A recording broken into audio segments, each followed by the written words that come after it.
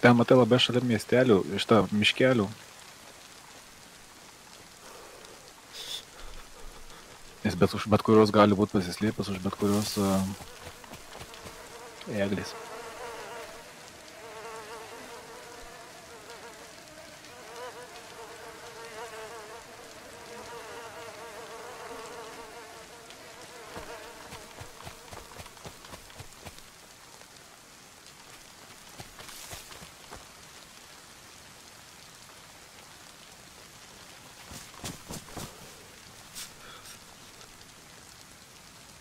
Бьянардо.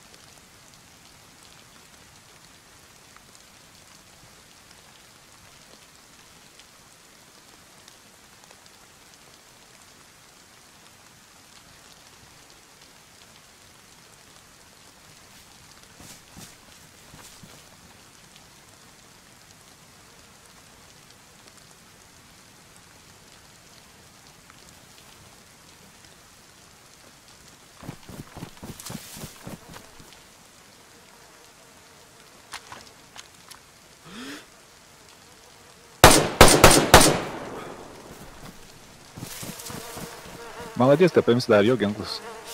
Ir neždinkis iš ten.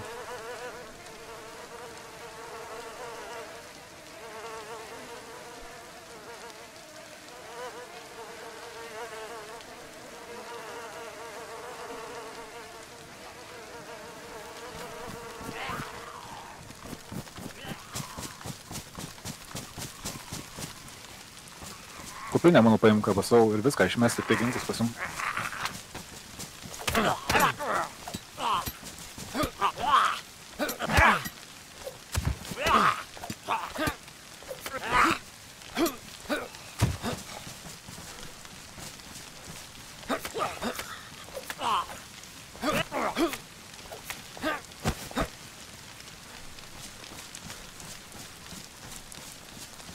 Aš jo net nemačiau.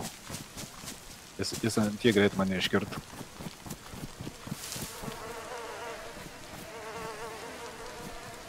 Aš tik atsisukau ir į orą spėjau iššauti šešėlį, jau mačiau viskas.